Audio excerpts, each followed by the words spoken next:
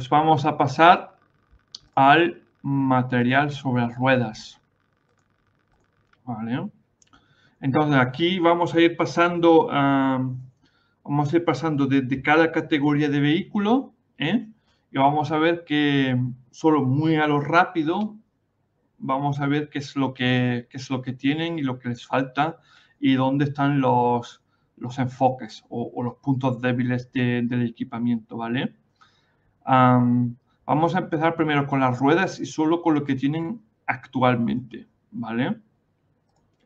Entonces, en materia de ruedas, nos llama una cosa de atención, es el Rosomac.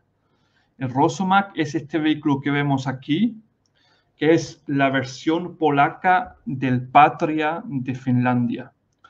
Y aquí los polacos, si no me equivoco, lo producen ellos mismos y lo están produciendo en muchas versiones, ¿vale? Entonces el Rosomac es un vehículo que lo vamos a ver mm, bastantes veces en, dentro de su equipamiento, sobre ruedas. Aquí vemos el Rosomac sobre uh, en versión de mando y control, ¿eh? para jefe de compañía, jefe de batallón, de brigada y cosas así por el estilo. ¿eh? Luego vemos que tienen también sobre camiones, tienen también uh, o sea, vehículos de radio sobre camiones. Aquí no tienen, no tienen nada como el Rosomac, por lo menos que yo he visto, pero da igual, son camiones todoterreno, y todos van sobre ruedas, entonces va bien, no hay nada que criticar. Un detalle, un puntazo que sí tienen es que tienen vehículos de guerra electrónica blindados sobre ruedas. O sea, eso es claramente un punto fuerte para una cosa que me gusta a mí mucho de los polacos. Y aquí claramente puntúan muy, muy, muy bien. ¿eh? Logística. Pues tienen de nuevo el Rosomac, o sea, todo esto que hemos tratado es mando control, comunicaciones y guerra electrónica. ¿eh? aquí lo tienen todo, no falta nada. Luego vamos a ver vehículos logísticos sobre ruedas. Pues tienen mm, vehículos sanitarios sobre el Rosomac.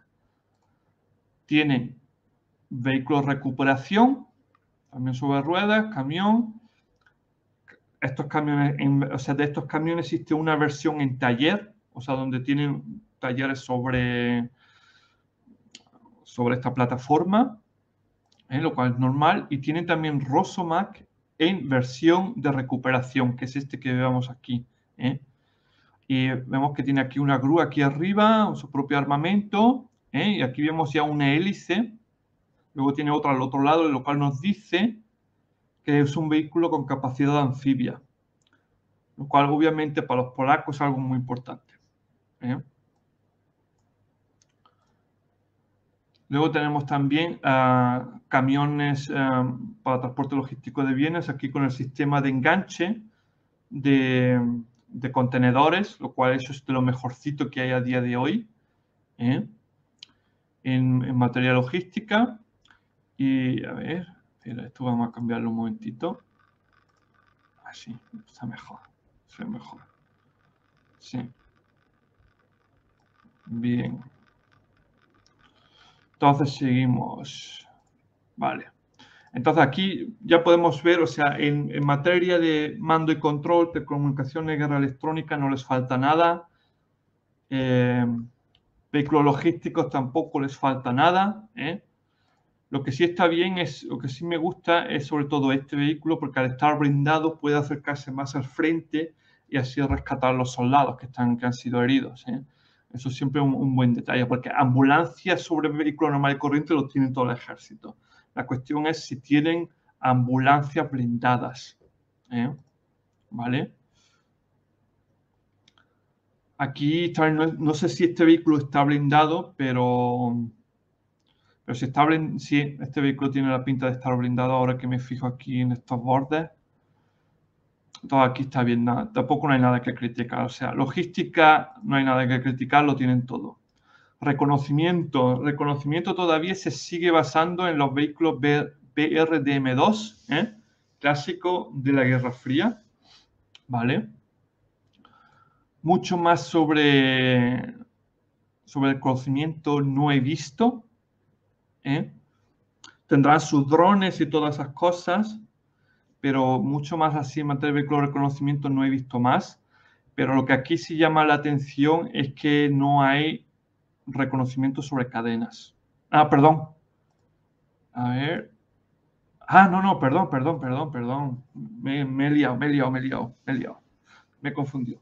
De vuelta atrás, no, reconocimiento sobre ruedas. Aquí está, tenemos el verde M2, todo bien, ¿vale?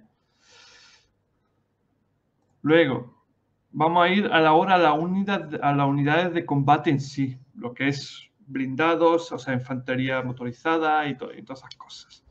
Las unidades principales de combate. Aquí ya nos llama una cosa de atención. No hay vehículo de soporte de fuego. O sea, no tienen ningún Patria con un cañón de 90 de 100, o de 105 milímetros o un cañón de, bajo retroceso o algo así. Nada. ¿eh?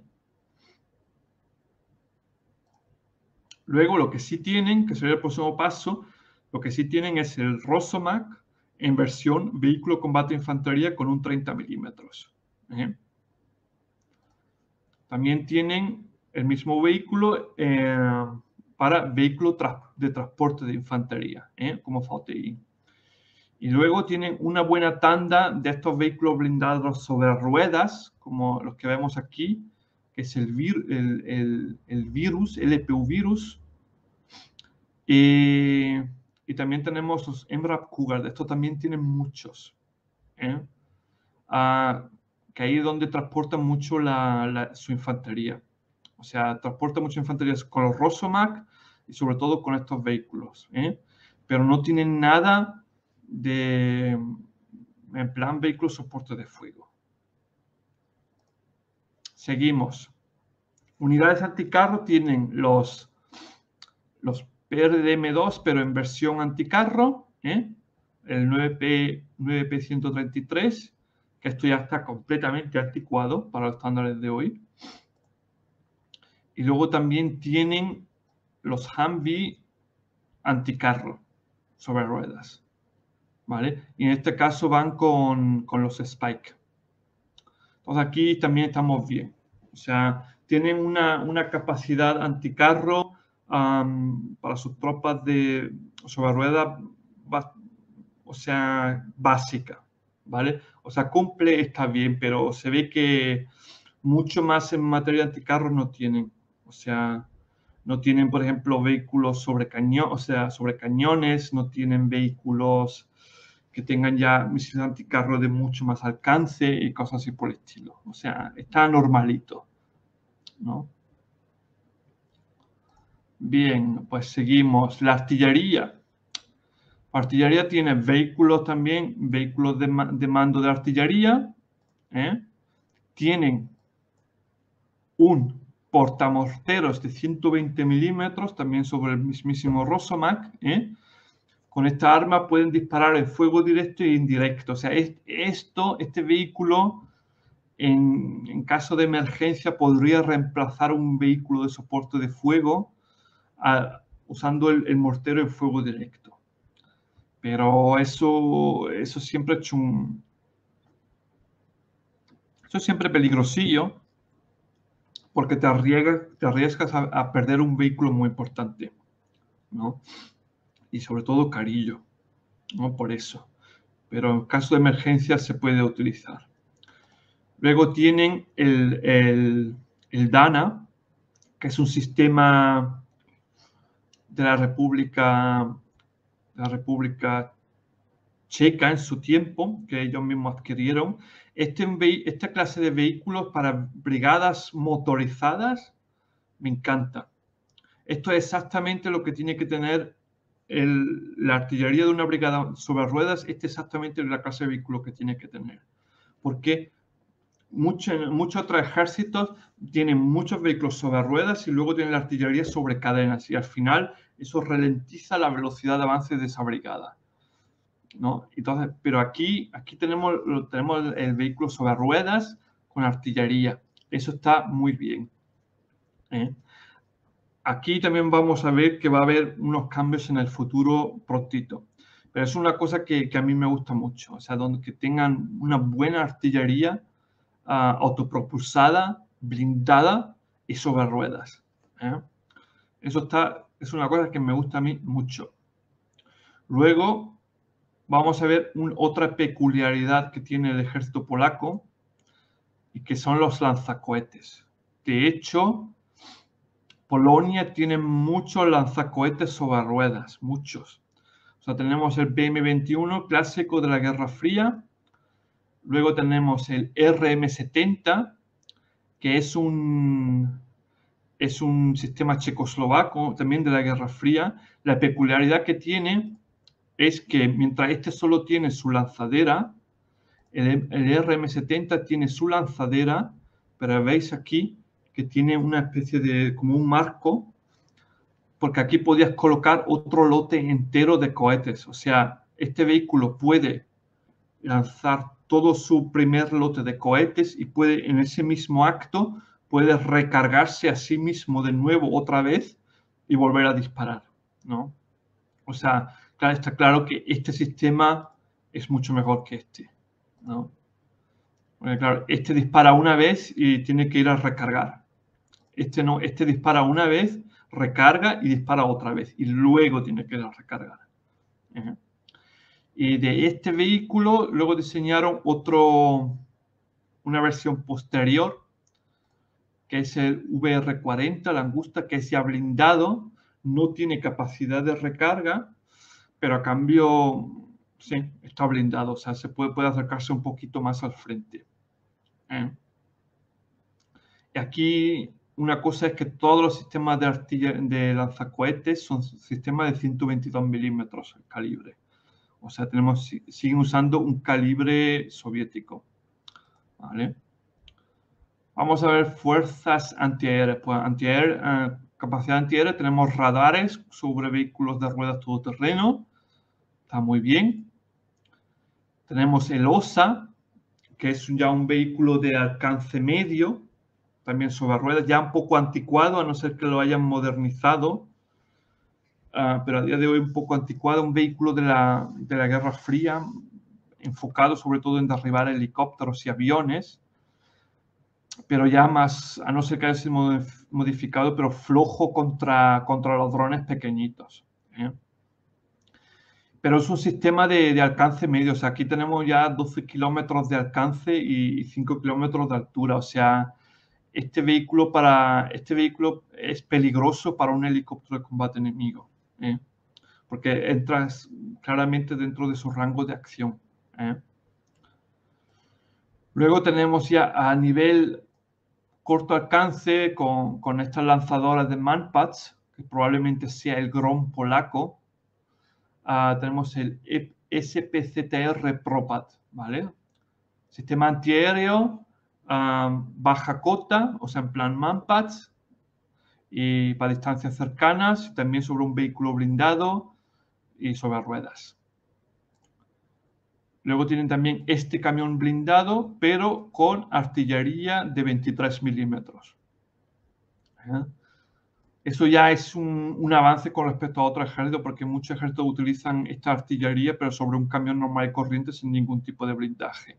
O sea, aquí por lo menos hemos colocado un blindaje. Es un detalle muy bueno que, me gusta a mí de, de esta clase de vehículos, es que tú tienes un problema porque tú no tienes un, un rango de tiro de, 360 grados, ¿no? Porque la, cabina está en medio. Pero lo que sí está guay es que tú puedes utilizar esta lona para tapar por completo la, la, superficie de carga y así ante el reconocimiento enemigo este vehículo no solo llama la atención como un camión normal y corriente, pero no como un vehículo antiaéreo. ¿eh? Aquí, ojo también a estos sistemas antiaéreos de 23 milímetros. ¿eh? Os fijáis aquí ah, en este trasto que tiene aquí arriba, que son visuales nuevos. Estos sistemas, también fijaos que tienen también protección, o sea, un blindaje para el artillero y que prácticamente solo hay un único puesto para el artillero. El clásico CSU-23, 23, CSU-23-2, ¿sí? Ah, era operado por, por, cuatro o cinco soldados. Aquí solo lo opera uno. O sea, ¿Por qué? Porque este, este sistema ha sido completamente modernizado, o sea, tiene su propio sistema para mover, su, propio mover para su propio motor para subir y mover el cañón y todas esas cosas. Tiene sistema de tiro con medidor láser, con visor termal y todas esas cosas. Y está también interconectado con, la, con los radares de la batería antiaérea. ¿Eh? O sea que puede disparar por sí mismo o puede, o puede disparar en conjunto en cooperación con, la, con los radares de, la defensa antiaérea, ¿vale? O sea, este vehículo no lo subestiméis, ¿eh? sobre todo este sistema es mucho más potente de lo que parece. ¿eh? O sea, eso no es como no es como en los tiempos de la Guerra Fría, o sea, inicio de la Guerra Fría, Segunda Guerra Mundial, donde, donde todo el mundo disparaba hacia el cielo y ninguno acertaba. O sea, era, era suerte si, si, alguien le daba algo. Eso aquí ya no, con esto ya no. ¿eh? Este sistema tiene puntería y acierta. ¿eh? ¿Vale? Y luego también tenemos, pues eso, un vehículo de control también para la defensa antiaérea, ¿vale? Estos, son, estos vehículos son los que se conectan con, con estos radares y mantienen el mando y control de toda la unidad antiaérea. ¿vale? Bien, entonces aquí vemos que está bastante bien, o sea, aquí por lo menos tienen defensa antiaérea a baja cota y, a media cota. O sea, eso ya está, o sea, a nivel manpads y luego, sí, está manpads, media, o sea, baja cota media y larga. O sea, distancia, distancia distancia corta, distancia media, distancia larga. Y por lo menos los primeros dos escalones, eso los tenemos aquí. Está bien, está bien. Siempre se puede mejorar algo, pero bueno, está bien. En comparación con, otro, con otros ejércitos, mm, está mucho peor en ese aspecto. Vale.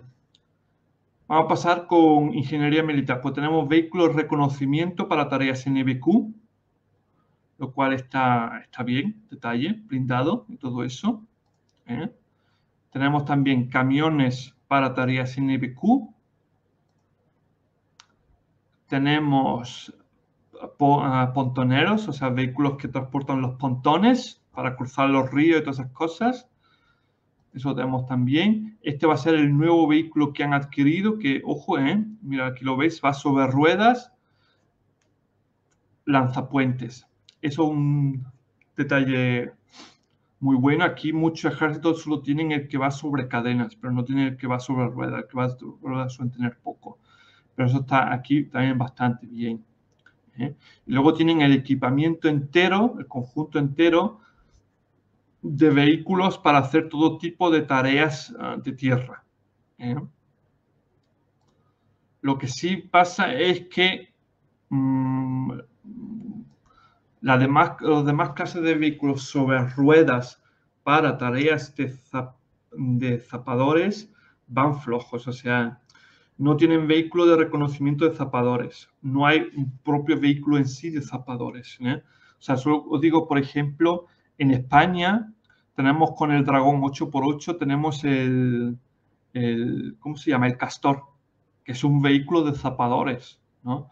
Pues ellos tienen el Rosomac, que sería un, equivalente al, 8x8 español, pero no lo tienen en, lo he revisado, me he mirado todas las familias de esa clase de vehículos, pero no tiene ninguno sobre um, de zapadores.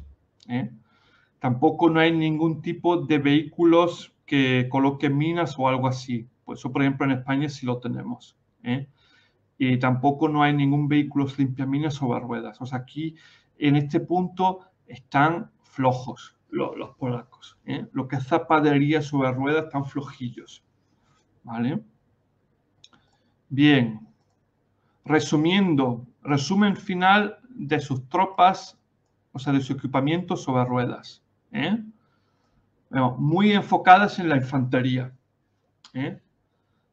Eso, eso encaja perfectamente luego con la poca pegada en fuego directo, o sea, porque le falta un vehículo de soporte de fuego. No tienen, no tienen ningún Rosomac con un 90 milímetros o con un 105 milímetros. ¿eh? Solo tienen infantería, infantería y, ya está. Y el vehículo más potente para fuego directo que tienen es la versión de vehículo de combate de infantería y ya está. Y ahí se quedan. ¿eh? Tienen capacidad anticarro presente, pero es básica. O sea, no tienen nada de sistema anticarro de largo alcance como los israelíes que llevan por, por 12 kilómetros, por 24 kilómetros y cosas así por el estilo. En artillería sobre ruedas va muy bien. ¿eh? Artillería muy completa. Y curiosamente mucho enfoque en los lanzacohetes. Tienen muchos lanzacohetes sobre ruedas. ¿eh?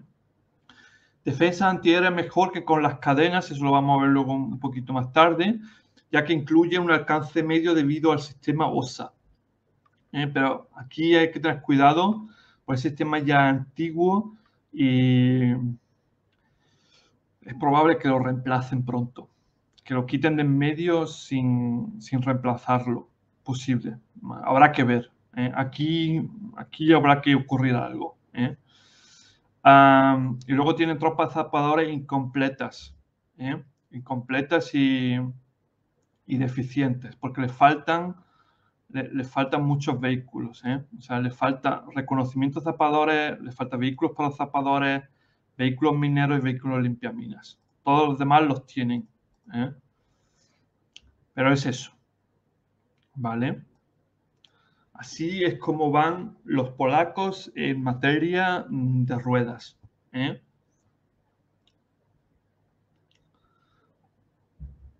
O sea, aquí se puede decir que sí, que los polacos usan su infantería para luchar contra otra infantería y cosas así por el estilo. ¿eh? Sobre todo tienen mucha pegada en materia de artillería y están bien protegidos en la antiaérea. Pero es eso.